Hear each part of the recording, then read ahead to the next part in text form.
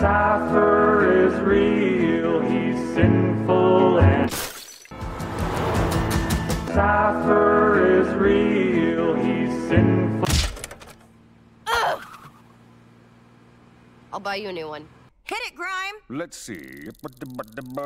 Cipher is real, Well, this is gonna be super wrong, but super catchy.